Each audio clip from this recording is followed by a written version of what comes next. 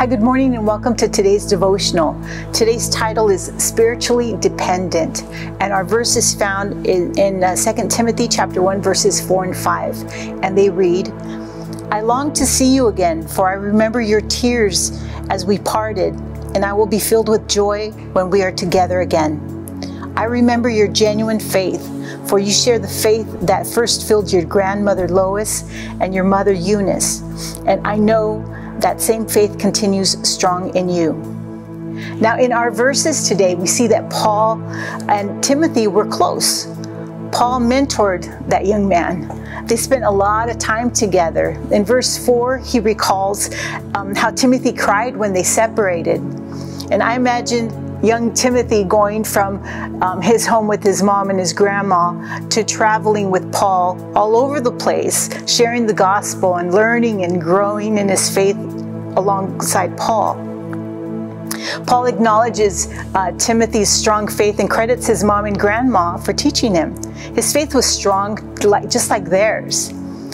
Now, our faith is learned and nurtured by pastors, by family and friends and teachers, but our walk with the Lord is just that our walk with the Lord. And of course, we can always go back for advice, you know, for prayer, for them to encourage us, to stand, you know, in agreement with us. We can we can do that, but their faith won't save us.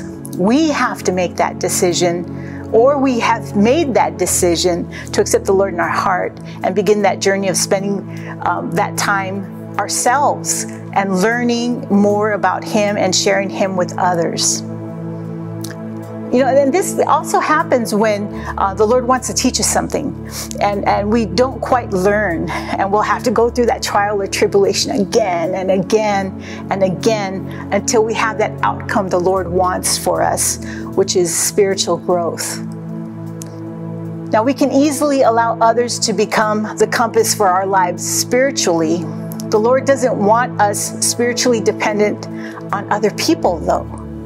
People are there to help us, but our journey with Jesus is our journey. We have to nurture that faith to live in us as well. Our spiritual dependency should only be on the Lord. Let's pray. Dear God, I thank you, um, Lord. I thank you for your love. I thank you for, for all that you do, Lord God, and things that we're not even aware that you do for us, Lord God. I, ju- I just thank you just for, for all that you are, Lord. I thank you, Lord, that, that you've given us people around us to help us, but you want that relationship with us personally. You want us to come to you first you want us to put you first, Lord, before anything else. And we would be very blessed to do that, Lord God. I pray, Lord God, for, for those um, who are in need. I pray for those who are, are dependent on other people, Lord.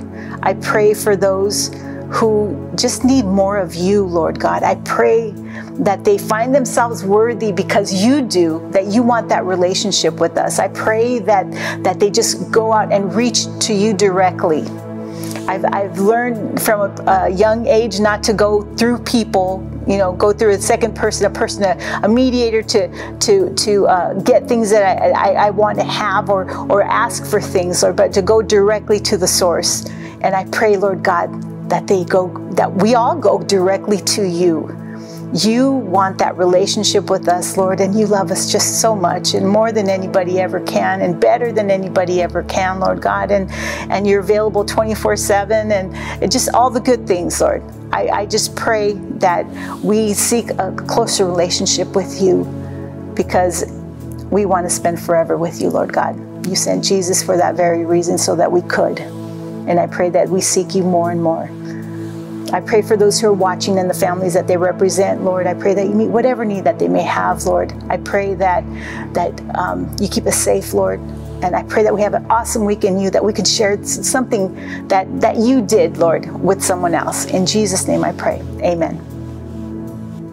Hey, thank you for watching today's devotional. Tomorrow is Wednesday, and tomorrow we have our Bible study via Zoom that happens at 7 p.m., and our meeting ID and passcode can be found on our social media. Tomorrow, Wednesday, is also when we uh, restream the service that happened on Sunday. So if you want to watch it again or you missed it, it'll be up tomorrow. keep an eye out for that. God bless.